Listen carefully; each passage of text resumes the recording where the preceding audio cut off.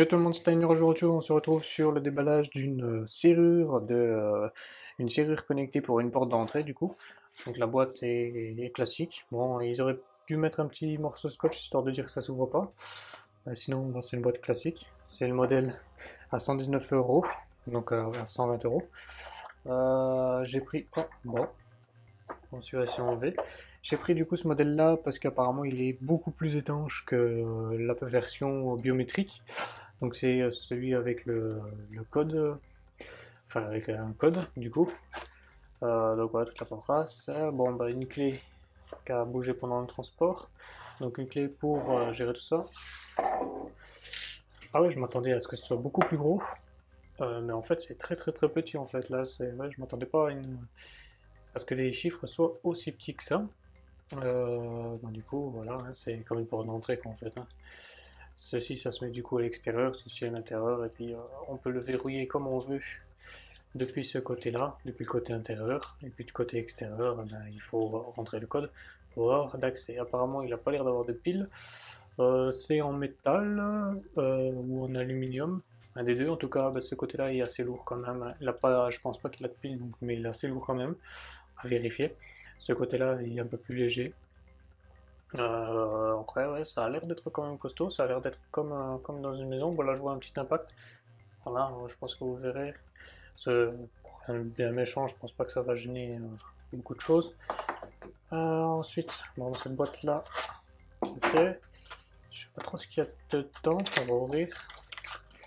Ok, donc voilà ce que je vous disais tout à l'heure, c'est que du coup elle est un peu plus étanche que l'autre, parce que là ce morceau en caoutchouc, et le lieu où je vais mettre cette, euh, cette serrure connectée, c'est euh, un endroit aussi que j'ai la, la pluie qui, qui, tombe tout le temps quoi, en fait. Hein, et puis du coup, bah, la version avec la biométrie, n'a pas de, on peut pas mettre de caoutchouc puisqu'il faut son empreinte digitale, donc ça ne va pas marcher, que là c'est juste des chiffres à taper, donc ça peut fonctionner parfaitement. On la mettra euh, plus tard. Euh, là-dedans, bon, Hop, là-dedans après une petite euh, deuxième petite clé laine du coup pour ouvrir, enfin pour régler je pense ceci. Non, il est trop petit donc ça doit être pour ouvrir, pour gérer ça je pense, enfin à voir comment c'est. oui c'est ça, la petite du coup pour ouvrir le le, système de code et puis l'autre pour ouvrir euh, l'autre la l'autre poignée quoi. Enfin pour, pour ouvrir pour la, la régler. Ensuite on a du coup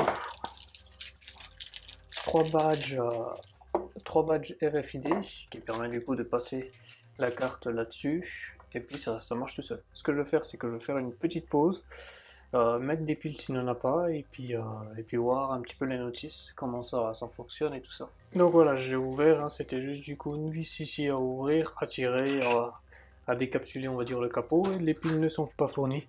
Comme on peut le voir, donc il faut trois petites piles pour une durée à peu près de un an.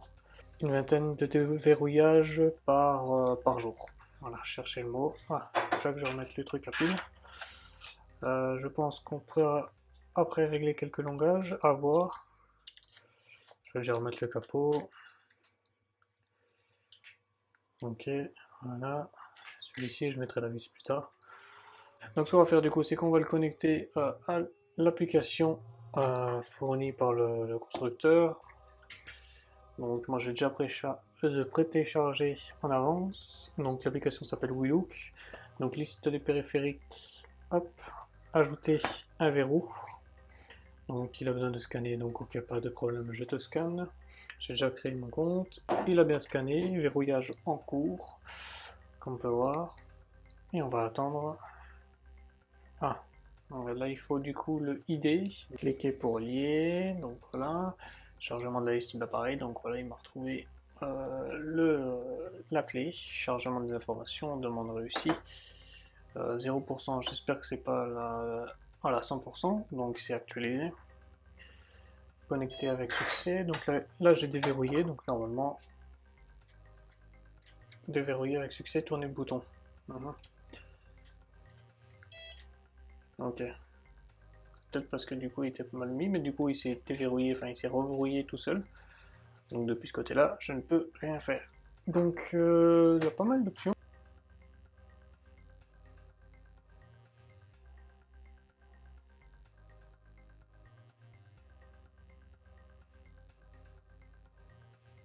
Donc voilà, on se retrouve sur ma porte d'entrée, donc on peut pouvoir la fermer.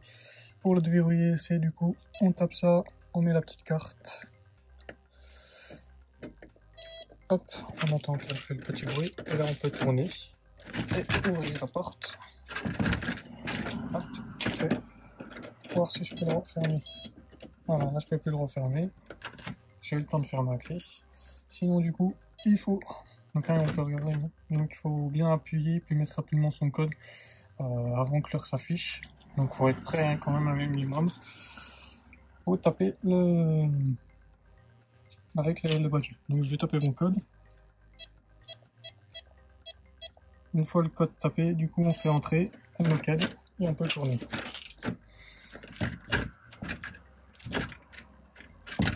Voilà, je vais la verrouiller. Donc il me dit que c'est bon. Et par exemple, bah voilà, là comme peut voir, je vais tourner dans le vide. Je peux faire plusieurs tours. La porte est fermée à clé. hop, je peux rentrer du coup. Là. Hop, voilà, donc petit cadenas. On rentre la clé, on tourne. Et je vais me rentrer au chaud. Donc voilà, c'est tout pour cette vidéo. Je vous dis ciao ciao et à plus pour la prochaine vidéo.